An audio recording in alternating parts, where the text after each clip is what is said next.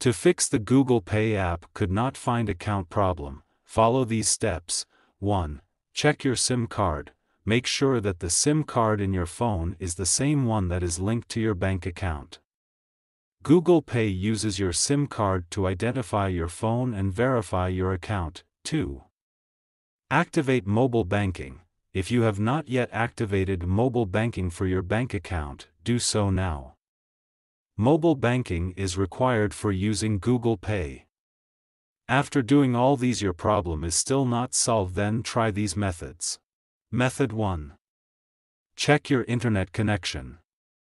Make sure that you have a strong and stable internet connection. You can do this by trying to access other websites or apps on your device.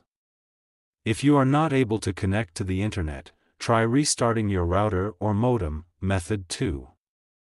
Restart your phone. This can often fix minor software glitches that may be causing the problem. Method 3. Update the GPay app. To do this go to Play Store. Search for GPay. Go to GPay.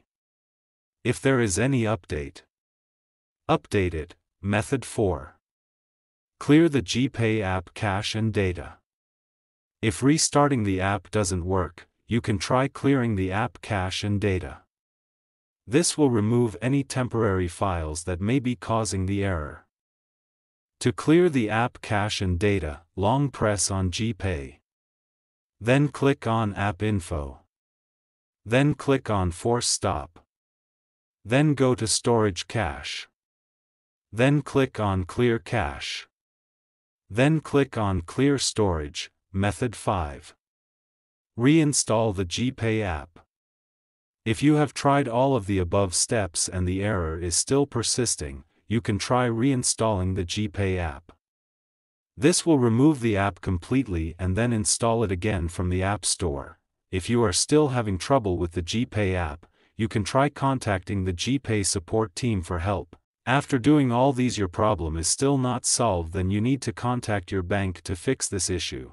Thanks for watching. Please like the video. Subscribe to Techsore.